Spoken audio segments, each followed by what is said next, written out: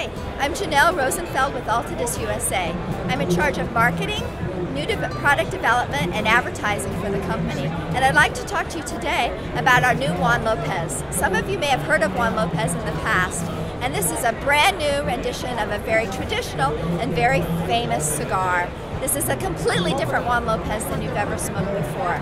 This cigar is made in Nicaragua at Agros Tobaccos under the direction of Omar Ortez, and it's a completely 100% Nicaraguan cigar.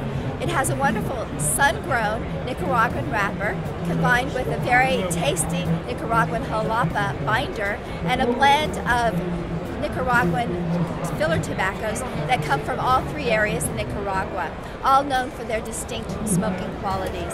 It's full bodied, it's robust, it's very round and complex, and I'm sure you'll love the cigar. It comes in three wonderful sizes, and it's at a great price point too. I'm sure you'll enjoy it.